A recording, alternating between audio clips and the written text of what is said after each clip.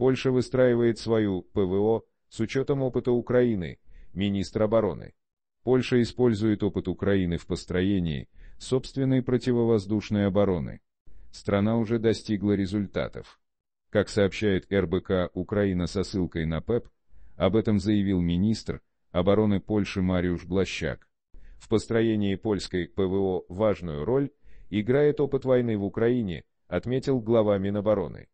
По его словам, Польша уже очень далеко продвинулась в создании многослойной противовоздушной обороны. На учениях в стране использовали сразу ЗРК «Патриот», пусковые установки «Айлончер» и зенитные комплексы «Пелика». У нас также есть ПЗРК «Пиорун», а значит системы ПВО-ПРО очень короткого радиуса действия.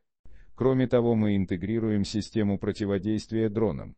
Нашей целью является формирование отдельных слоев системы ПВО и интеграция их таким образом, чтобы они являлись единой системой, подчеркнул Блащак. Министр подчеркнул, что Польша отошла от постсоветской системы организации, где за ПВО отвечали подразделения как в воздушных, так и в сухопутных силах.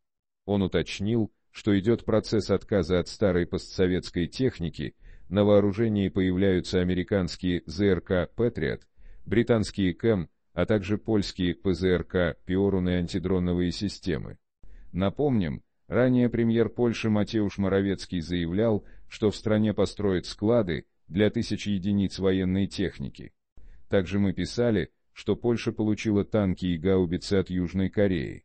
Срочные и важные сообщения о войне России против Украины читайте на канале РБК «Украина в Телеграм».